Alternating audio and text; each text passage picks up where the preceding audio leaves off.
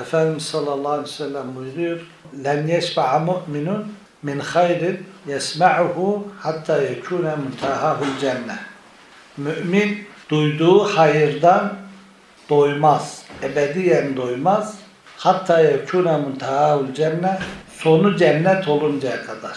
Cennete girinceye kadar son nefeslerine kadar duyduğu hayrı hayatına tatbik etmekten, sevapları, faziletleri hayatına tatbik etmekten doymaz.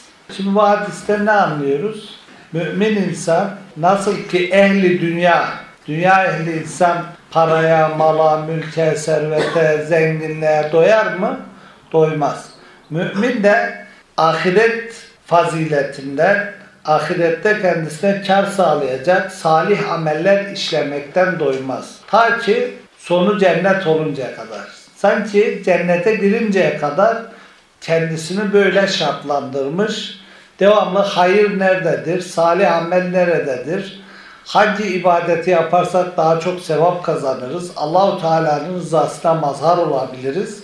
Bunu araştırır, bunu yapmaya çalışır. Aklı, fikri, düşüncesi bununla meşguldür. Len yeşbe'a. Doymaz. Asla doymaz demek değil mi? Len yeşbe'a.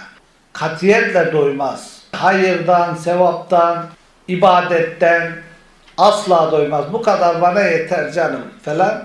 Bu müminin vasfı değildir. Hangi ibadet, hangi zikir, hangi salih amel faziletli olduğunu duyunca hemen onu hayatına tatbik eder.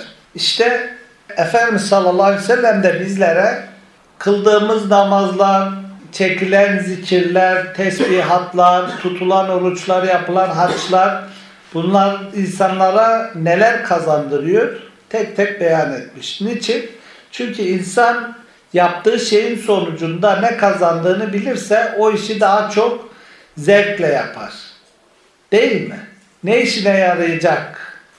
Bilmiyorsa eğer yaptığı işi o işi yaparken üşenir, tembellik ona arız olur.